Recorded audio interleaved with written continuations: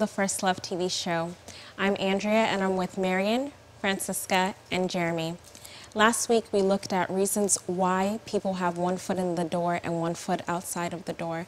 And we also looked at reasons why people are not grounded in Christ or people aren't established in Christ. And this week, we're going to be looking at reasons why, additional reasons why people are not grounded or established in Christ. And so, Jeremy, I want to hear from you. Why are people not fruitful or why are people unable to grow in the things of God? Well, I think um, one reason why that is is that um, people can be privately weak or publicly strong. And what I mean by that is like, I think it's best characterized by the verse in Luke 8 17, which says, Whatever you do in secret will be made manifest.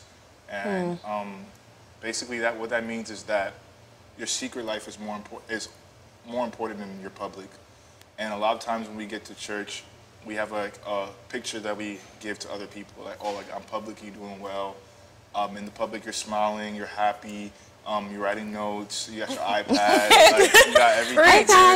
You're saying amen, you're jumping up and receiving it. But in your private life, your life is very different. And that's where that dual thing, like the dual thing that we're talking about, comes in. It's like your private life, you're, you're succumbing to the same sins, you're living a completely different lifestyle that you show when you're among the regular church circles. And basically what that's saying is like that will le- whatever you sow like you reap like the fruits of what you do in the secret will always come out like there's no way that you can have a seek a different life in private and not expect it to show in the public And I think, like, with your verse, um, at times people get so afraid. They're like, okay, so God is just looking to condemn you, or He's looking for, like, a mistake to, like, oust me. But it's not necessarily that, like, God is trying to oust you or condemn you because God is a God of love. He forgives us for our sins, our mistakes. The Bible says that He even um, throws it, our sins into the water, He forgets them, and He moves on from them.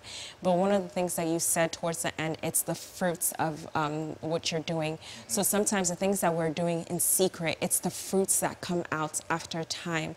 So it's not necessarily that God is shaming you or God is trying to condemn you, but it's the fruits that result, and that's what is being brought to light. And an example of someone who was publicly strong and privately weak is mm-hmm. Samson in the Bible. I mean, Samson was literally like physically strong. Like Yeah. everyone knew him as someone who was invincible. I mean, he could kill animals with his bare hands. He killed Yeah. like a thousand people with his bare hands. Like he was known as someone who was strong and indestructible. But in his private life, where nobody could see him, you can see that he actually had a weakness for for a woman who was who he was unequally yoked with, even like going back to what we were talking about.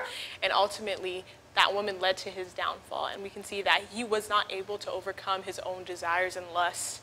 And as a result, Yeah. he ended up falling into the trap of the woman, Delilah. And ultimately, it led to his downfall. you do when you're struggling like in the secret though because i know like a lot of times like we come to that place as christians right where it's like you you know you're struggling with something Yeah. in secret you know like you're going through that hard place but you still have to keep coming to church and smiling to people right and you still have to keep coming to church and act like everything's okay but you know like you're not living the good like a good private life so i mean like I don't know if like anyone's been there before, but I know I have. Like, I mean, like, definitely like you're not you're not even doing your quiet time. Like your prayer life is like way low, and it, and it depends on like what you define as struggling. Because some people it could go like even like Yeah. worse as that. So like, what would you guys like do in like times of like that trouble? Well, I think that one of the deceptions the enemy tells us is that like, oh, you can't go to anybody again mm. because it's like, oh, the people will be like, wow, we saw you smiling this whole time, but really you were struggling with this, and it's kind of like, wow, I'm gonna have to expose myself, and they might look at me mm. different and things like that. But the Bible says in like John 8:44 that the devil is the father of all lies, so he'll want you to continue living that lifestyle where you're lying to the people that you see on the outside when you're really actually struggling, and that's where he wants to keep you in like a place of like just um, being alone and having to deal with that burden yourself. But I think whenever you're able to like just overcome that fear of being vulnerable or being exposed, you can actually get the healing that you need or like the freedom that you need by reaching out. And the Bible says, like, confess your faults one to another. So, um, if you're struggling with something, the only way you're able to get help is that when you confess that you have a problem. And then people are able to help you and people are able to show you the way to go. But if you try to cover, if you try to ignore the fact that you have a problem, you're unable to grow in the things of God. You're even unable to even have a deep or a type of a certain relationship with God because it's like you're covering some of the sins and weaknesses that is causing you to be like separated from God. And Andrea, the end of that verse also says, So you shall be healed. So there's a sense of healing that comes with being able to talk to people about what you're going through or what you're struggling with. And also, I feel like a burden is lifted out of you. Because you know, sometimes when you're holding so much in, you're not able to probably even function or react to certain things the way you're mm-hmm. supposed to. But when you're able to talk to someone about it, you feel like now that burden is kind of on them now. Like you're more free and you're lighter in a sense. So. I I think the devil likes darkness a lot. And he likes keeping us in darkness. He likes keeping the things that we do in darkness. He likes making it a secret problem. But the thing is that when light shines in the darkness, darkness can't stand. Mm-hmm. So like once you begin to mm-hmm. open up your life, then I feel like there's a certain power of that thing that you're struggling with, it leaves because mm-hmm. the darkness can't stand anymore. Yeah. The more you expose it, you feel like, oh, no, no, no, I can't do this. Like, this, this is bad, this is bad, this is bad. But that's exactly what the enemy doesn't want you to do.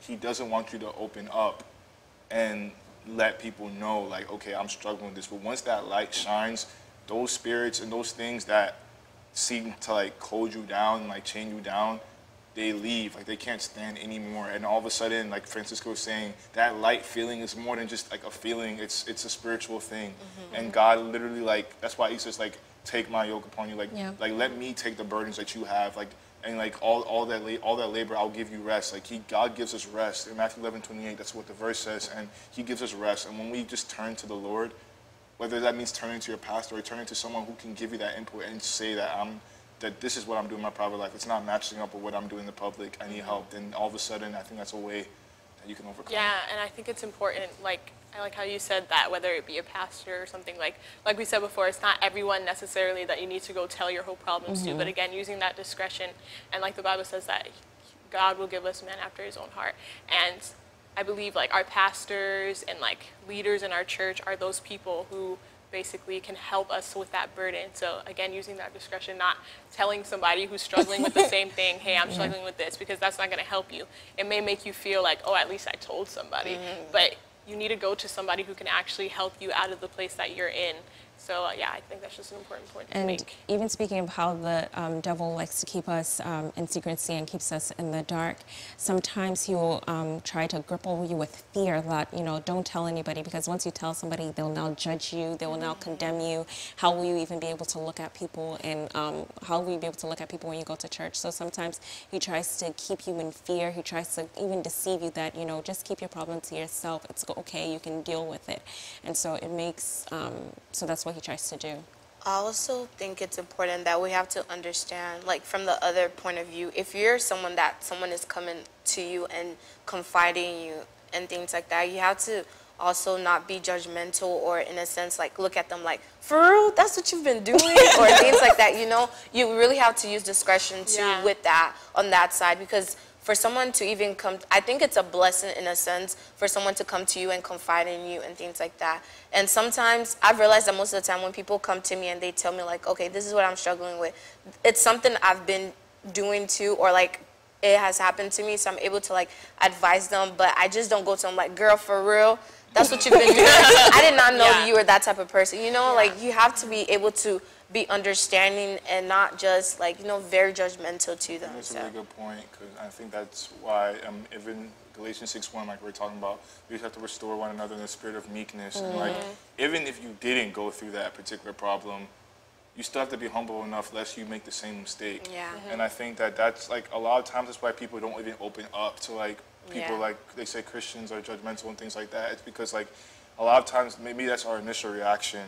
Like, oh, bro, really? Come on, like pick yourself up, Yeah. do do better. But I mean, for someone to come up to you and like open up that part of their life to you, um, it, it's like it takes a lot of humility to do Yeah. that, and it takes a lot of like vulnerability, like we're saying, and it's not easy. It takes a lot of Yeah, strength easy, yeah. to come up and say like, look, I need help with this, like help Mm-hmm. me out, and it's up to us to have that love of God and help people match up their lives because a lot of people don't know how to act in church. Like they just want to keep going. That's why they're even there in the first place. Or they want to keep coming, but they know that their life is not matching up. So they just need time and love to keep growing to be the um, person that God wants them to be. So I think that's important. Yeah, and I think we can like even pray like that God will help give us understanding and just to have a compassionate heart towards others. Like even though you may not understand how that person could be going through, you can be like, Lord, help me like to see that these people need me and to say the right things and that will help them and to not come off across as judgmental and like shut them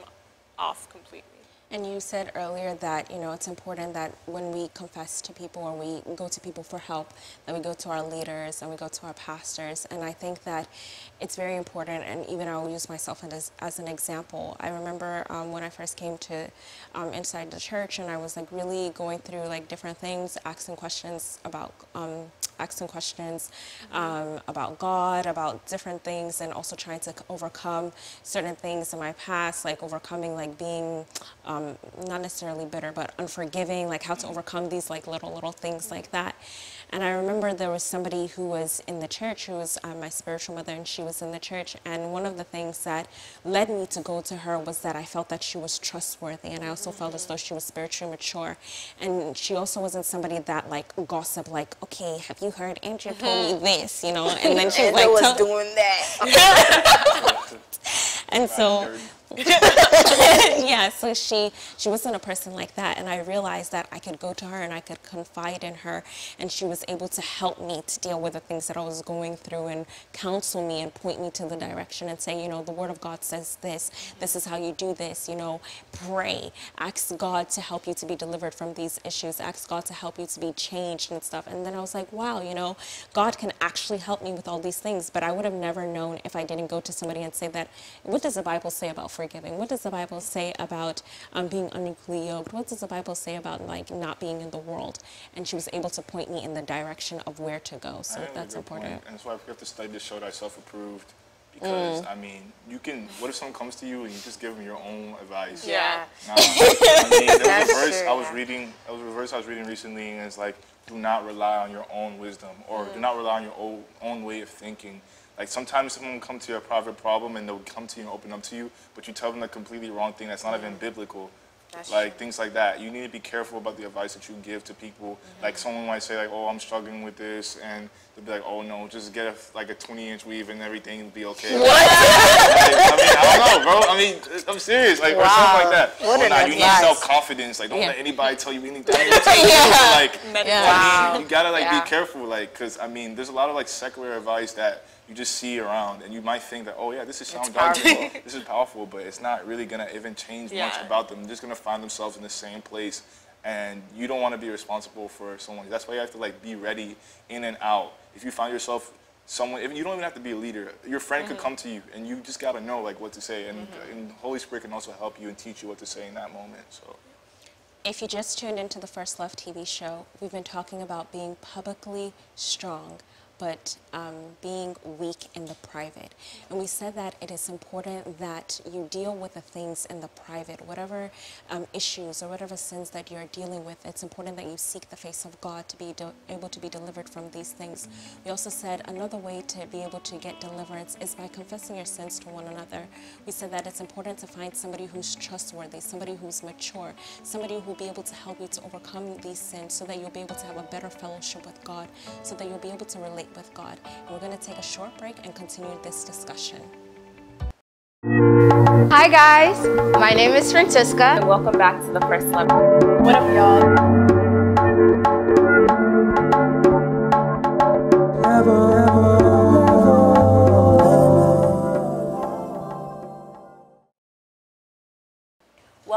To the First Love TV show. We've been talking about why it's important to be not only publicly strong, but also important to be privately strong. And we're going to be looking at this scripture, which Jeremy gave earlier some more, which I believe was in Luke 8 17.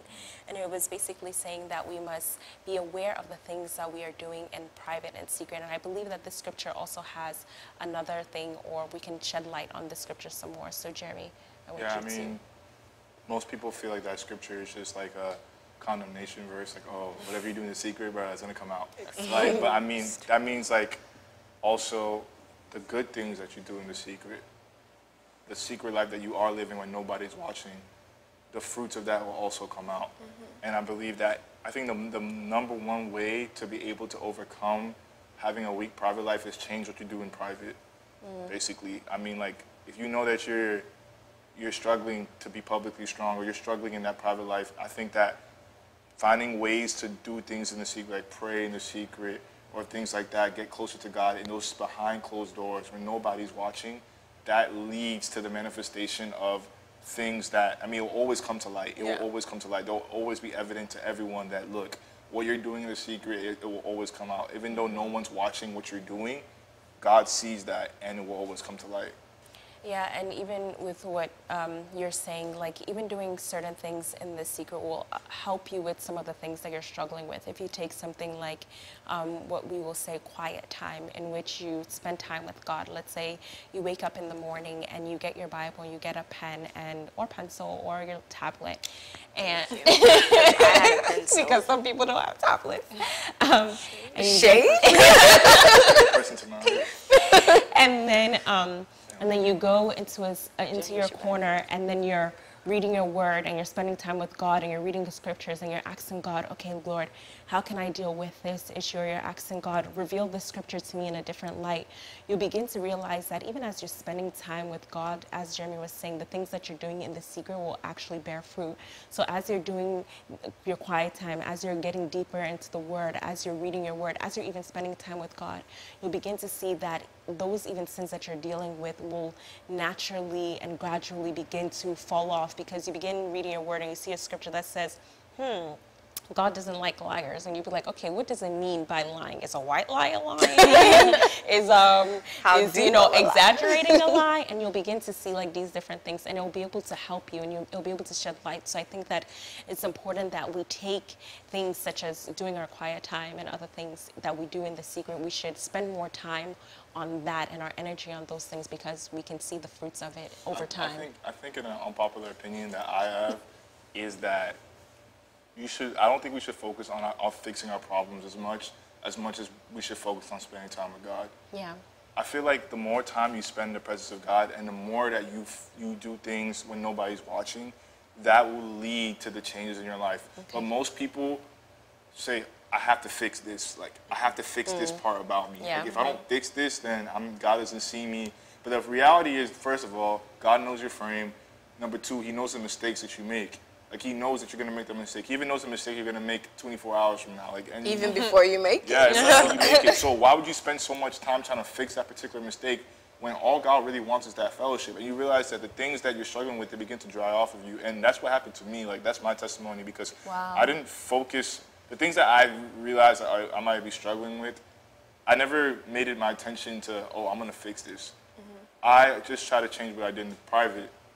So like when you change what you do in private, like oh I wasn't reading my word in private, so now I'm gonna try to do that. Or I wasn't praying enough in the secret place, so maybe I should just try prayer or listening to messages or things like that. And as I continue to do that, then like the scripture says, it comes to light. So that began to take over my life, and then all of a sudden the things that I struggled with began to just drop off. Like I never made it my plan to try and say no, I'm going to change because you can't change yourself. Yeah. That's what most Christians don't realize. So. Mm. Even when you like let's say you take for example um, moses in the bible you see that um, you, god calls him he goes up to a mountain and you see that he has a tablet in which he writes the ten commandments and you see that it's A a, tablet?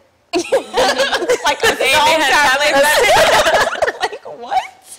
Not A stone. Okay, so he goes up, and you realize that when he comes down, well, he stays up there for a long time. You realize when he comes down, he has written, you know, the things that God has told him on the tablet, and people see this glory and this presence around him. And I, in relation to your point, Jeremy, like how you said that, you know, we shouldn't try to fix our own problems. People think that, okay, if I just, sometimes people even try to fix their problems by sometimes drinking or finding peace or pleasure in other people, but they don't realize that it's by seeking God first that you will um, be able to deal with these issues and the problems that you're going through. So I think that's a good point. Yeah, and I think um, one other like aspect of like duality that we may see in our Christian lives is like being spiritual versus being carnal. And I think that whenever we focus on the things of the world, it's hard to focus on the things of this of the spiritual world. And what I mean by that is like when you're focused on carnal things, those are like completely opposite to spiritual things, like how you feel or um, yeah, like your mood. Those things like define what you do. And I think that that is something that Christians we have to be wary of because in this world we're bombarded with like focusing on how we feel, on what we feel like doing. And if you go along with that mentality, it's impossible for you to also carry out a mentality where God is leading you. Yeah, Romans 8 5. I was reading this earlier, and it's funny that you bring that up because it says, Those who live according to the flesh have their mind set on what the mm. flesh desires. Mm. But those who live in accordance with the Spirit have their mind set on what the Spirit desires. Mm-hmm. So if you, when you're carnally minded, you focus on what your flesh desires. So anytime you see somebody who's carnally minded, they do what their flesh wants. Like, The body. yeah, and you're trying to see what your flesh desires. So if you're looking for, a lot of times, what I know is like all young people, they try to find different ways to have fun because they're trying to find what what their what, what pleases the flesh. Yeah. So every time it's like there's something different, whether it's like mm-hmm. smoking weed or like going out longer or staying out later or do or going to this city. Some people drive like three hours just to go to Sixth Street or something like that. What is Sixth Street? Downtown. I don't know. Austin, like, Oh, like okay. play- I mean, they, It's they wild. take like Apparently. journeys. I'm like, but- I haven't been there. Apparently. How do you know? Man, I live in Austin, so I'm Everybody a, talks about it. Okay. that better be the reason. Yeah, I mean, because they're just trying to find what their flesh is, and that's what their mind. It says like if you're carnally minded, that's what your mind is set on. What can I do to please my flesh today? Like basically, oh, I'm gonna sleep because I feel tired, or I'm gonna eat this because I feel like I, feel like eating. no, You're. Cisco, did I hit you? No. Dang. I mean, Okay. that's what it means. But you can't. But to be spiritually minded, when you're spiritually minded, your mind is set on what your spirit desires. Yeah. So all of a sudden, you're like, okay, I haven't prayed today. I feel like I need to pray. Or, Like I haven't read my word today. I feel like I need to read my word. So it's like it's all based on like, what are you trying to fulfill? Are you trying to fulfill the desire of your flesh? Or are you trying to fulfill the desire of your spirit? And I think that's what Mary's saying that we should have to like be spiritually minded, not carnal. Yeah, and if you read um, the next verse, I think it is um, Romans 8, verse 6, it says, But to be spiritually minded, but to be spiritually minded, carnally minded is death, but to be spiritually minded is life. So, from what you're saying, Jeremy, like if we think about it, if we're living with our carnal mind, the the cause of it is our uh, our downfall. And if you're spiritually minded, there's when your spirit is open. That's basically when your spirit is open. That's what opens you to the relationship with the God. Um, that factor. But when you're carnally minded, all you think about is what pleases your flesh, what makes your flesh feel feel good. And young people, we tend to really, really. I feel like we really, really focus on our fleshly desires because I don't know. I feel like at this age, that's all we think about. We don't really think about following Yeah. the things of God or what God has to say about what we're doing. We don't think about the Yeah. relationship aspect of being with God. We tend to focus more on like what our body wants. And I'm guilty because I love to eat, so I I'm sometimes tend to. Yes, I sometimes tend to. But we have to understand that to be spiritually minded and the cause, um, the things that happen when we are spiritually minded. Yeah, and if when, you don't oh, mind me reading what you had said in Romans 8, 6 to 10, it says, For the mind, for the mind set on the flesh is death, but the mindset on the flesh is life and peace. on the flesh. On the spirit. On the spirit, sorry, on the spirit is life and peace. Peace, because the mindset on the flesh is hostile toward God, for it does not subject itself to the law of God, for it is not even able to do so, and those who are in the flesh cannot please God. Mm-hmm. However, you are not in the flesh, but in the spirit. If indeed the spirit of God dwells in you. But if anyone does not have the spirit of Christ, he does not belong to him. If Christ is in you, though the body is dead because of sin, yet the spirit is alive because of righteousness. Mm. And I think that that just even goes to what we have been saying that, you know, you cannot be um, carnally minded and also have a specific or type of relationship So with does that God. mean you shouldn't sleep when you want to sleep? no, I mean, I mean, like, because some people's like, oh, don't please your flesh, or like, because and then some people are like, oh, well, that doesn't make sense because it's like, what if I'm hungry and I want to eat? Or like, I mean, what if I No, I'm think but that too there's- much. It's yeah, more of too like much. too much of something is like bad for yeah, you. Like when I you think have there's a time and a place for everything. I mean, if you're sleeping 12 hours a day, like, why are you sleeping all that time? Like, what time would you even have to even go to work to try to pray, to try to pray, to do your like- quiet time, uh, to even study, to be able to do things. So I think that we shouldn't do things in excess, excess, yeah. and we shouldn't also be slothful. So how do we? I mean, I mean, my question for me. I mean, if, if I'm struggling with the flesh, What's right? your question? If I'm struggling with the flesh, like how do I become spirit controlled? Like let's say I know that my flesh is dominating me.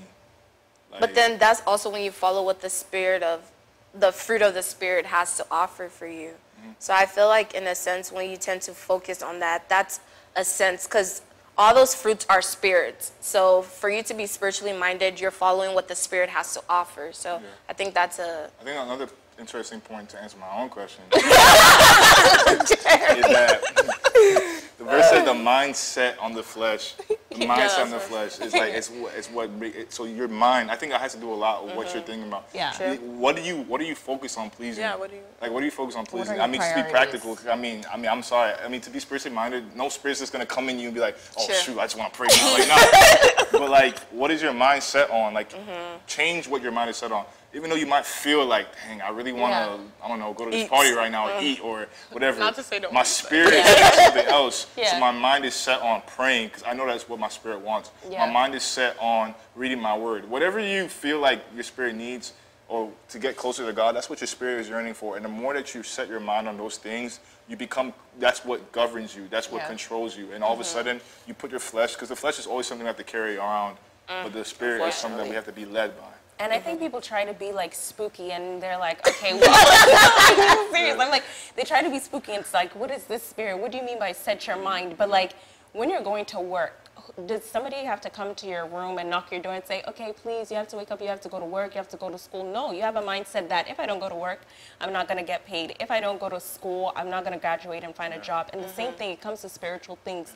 You have to have a mindset. If I don't wake up and pray, uh, my spiritual life is going to be It's gonna enter you and make you wake Yeah. up. Like, Yeah. you gotta like make the sacrifice. or sacrifice. any angel will come to your room and Yeah. just whisper to you. As you Yeah. do that, you feed your spirit, and then all of a sudden, that what starts to lead you. That's And it becomes to, more awakened, Yeah, yeah, yeah. things like that. Marion, were you going to say something? think I was gonna say, in in regards to Franny's verse that she read, um, when she said to be carnally minded is death, um, I think to me personally that means like all the things that you do related to your flesh all end up in nothing. Like they all end wow. up not getting you anywhere. But when you focus on things that are spiritual, they have eternal benefits. But like for your flesh, you're hungry, you eat the next hour, you're hungry again, depending on who you are. Poop it out. Poop it out. Or you gain some weight on the side. Okay. or like anything, when you try to gratify your flesh, it's, you're never going to be satisfied. All of that just ends up to you wanting more and ultimately just death. Mm-hmm. So yeah, that's what I meant to If you just tuned into the First Love TV show, we've been talking about the importance of developing a relationship with God. We've been talking about the importance of spending time with God. We also said that it's important that you fix your mind on God, you fix your mind on the things of God.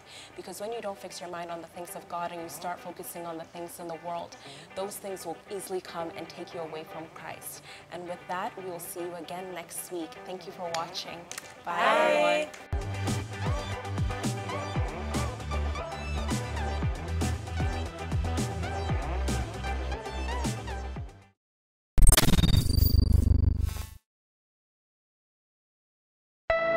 Thank you for watching the First Love TV show. We hope you enjoyed it. We'll be back next week, Wednesday at 7 p.m. CST. If you're a French speaker, we invite you to attend our first service, which begins at 9 a.m. Our second service starts promptly at 11 a.m., which is in English. If we have found grace.